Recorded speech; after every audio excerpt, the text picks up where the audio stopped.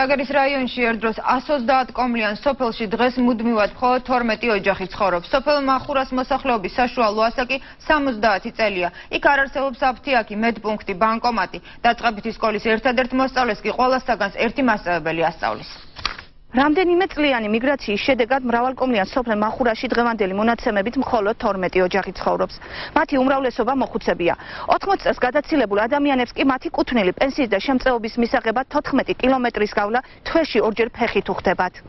12 კილომეტრი, იქეთ 12 უკან დაბრუნდებით. გაჩე, ეს პენსიაზე. პენსიას დახმარება არ მოყობა. ასაურკავს გვაძლევენ.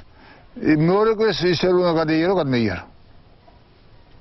ესა ჩვენ გასაჭირი. არ შემიძლია პენსია კი მაქვს. 110 ლარი დამსახურებით მე ნამუშევარი ქალი ვარ ისეხნისა კომუნისტები როს მაგრამ არ შემიძლია ახლა სიარული 82 წლის ქას 7 კილომეტრი ექს და 7 აქ 14 კილომეტრია მამდი პოსტამდი სხვა ბევრ ყოველდღიურ პრობლემასთან ერთად თითქმის დაცლილ სოფელში ხშირია მგლების შემოსევის ფაქტებიც.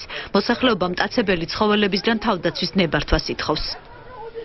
ოჯახები შედიან ბოდიშანთმაზე სასაქონლეებში ხრები საქონლეს წამესში თემის რწმუნებულმა ზიტა ჩაკვეტაძემ ჩვენთან საუბრისას აღნიშნა რომ სოფელში მგლების შესვლის ფაქტები მართლაც ხშირია თუმცა მოსახლეობას ცხოველისგან თავდაცვის უფლება აქვს სოფლის რწმუნებულის თქმით მოხუცებს პენსიების პრობლემაც უახლოეს მომავალში მოეხსნებათ აუცილებლად მოგვარდება ეს პრობლემა.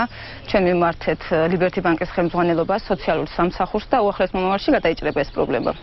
არის ხშირი შემთხვევები და მოსახლეობას აქვს ნებართვა, თუკი მის საკარმიდამოში შემოვა და მსხვილფეხას გაუნადგურებს, შეუძლია რომ მოკლას ეს ცხოველი. სანამ ხელისუფლება სოფლის პრობლემებით დაინტერესდება მოსახლეობას მათ წინაშე არსებული ყოფითი სირთულეების გადაჭრა საკუთარი ძალებით უწევთ. მონკასჭერი წერია 63 წლიდან მე არ მაქვს უბრალოდ რომ მოკლა. 600 ლარი უნდა ჩავისხო. გელი რომ მოკლა.